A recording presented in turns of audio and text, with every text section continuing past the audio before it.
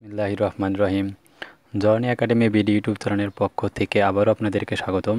তো গাইস আমরা দেখতে দেখতে পরিমিতির অনেক দূর চলে আসছি। আমরা উনিশতম পর্বে চলে আসছি ষোলো পয়েন্ট দুয়ের তো পনেরো নম্বর উদাহরণটা আমরা সলিউশন করব। সো এখানে কোশ্চেনটা বলছে, একটা পঞ্চ সুষম পঞ্চভুজের প্রতি বা দৈর্ঘ্য দেওয়া হলো পাঁচ সেন্টিমিটার এর ক্ষেত্রফল বের করতে হবে। সো আমরা গত পর্বে আমরা সুষম বহুভুজ কী এবং তার বিষয়ে ক্ষেত্রফলগুলো বের করেছিলাম। সুষম বহুভুজটা হলো যে দুইটা বাহু হলে আমাদের দুইটা দুইটা বাহু দ্বারা উৎপন্ন হলে শীতক্ষেত্র হলে কোন হয়? তিনটা বাহু হলে ত্রিভুজ হয়, চারটা বাহু হলে চতুর্ভুজ, পাঁচটা বাহু হলে পঞ্চভুজ, ছয়টা হলে ষোলভুজ সাতটা হলে সপ্তভুজ, আটটা হলে অষ্টভুজ, এভাবে আমাদের উৎপন্ন হয়। আর সুষম ক্ষেত্রে সবগুলো বাহুর দৈর্ঘ্য সেম হবে। আর সুষম বহুভুজের যদি একটা কোণের মান আমার জানা থাকে, তাহলে আমরা গত পর্বে সলিউশন করেছিলাম যে এন সংখ্যক সুষম বহুভুজের ক্ষেত্রফল n square by four cot একশো আশি বাই এন এই সূত্রের সাহায্যে আমরা সুষম বহুভুজের ক্ষেত্রফল বের করতে পারব। সো আমরা তাই এখানে লিখতে পারব কি, যেহেতু এখানে পঞ্চভুজ দেওয়া রয়েছে, তাই এটা হচ্ছে আমাদের এন এর মান। আর প্রতি বাহুর দৈর্ঘ্য প্রতি বাহুর দৈর্ঘ্যটা এ তাহলে এর মান হচ্ছে এটা। সো আমাদের ক্ষেত্রফল ডাইরেক্ট সূত্রটা ইউজ করলে আমরা পেয়ে যাব। তাই আমরা বলব যে মনে করি দেওয়া আছে সুষম বহুভুজের প্রতি বাহুর দৈর্ঘ্য ইকুয়ালস টু ফোর সেন্টিমিটার এবং বাহুর সংখ্যা n equals to five so আমরা পেয়ে গেছি।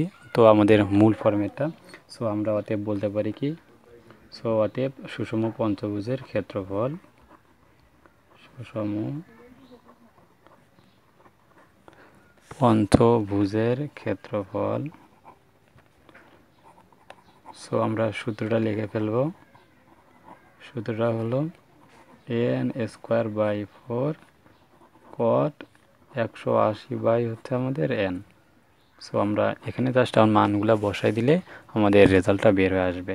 সো আমরা এনের মান বসে দিচ্ছি ফাইভ এর মান হচ্ছে চার, তাহলে চার স্কোয়ার বাই ফোর গুণ হচ্ছে আমাদের কট একশো আশি বাই হচ্ছে, বাহু সংখ্যা হচ্ছে ফাইভ সো আমরা এখান থেকে মানগুলো এখান থেকে বের করলে আমাদের জাস্ট উত্তরটা হয়ে যাবে।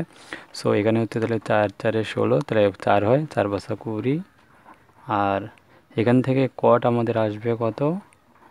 যে একশো আশিকে আমরা যদি পাঁচ দিয়ে ভাগ করি, তাহলে যে উত্তরটা পাবো, তাহলে ওয়ান এইটটি সো ভাগ হচ্ছে five that's thirty six so আমাদের কোয়াট হচ্ছে থার্টি সিক্স ডিগ্রি সো আমাদের বিশ গুণন কট ছত্রিশ ডিগ্রি মান আসলে আমরা ক্যালকুলেটারে ইনপুট দিতে পারব না।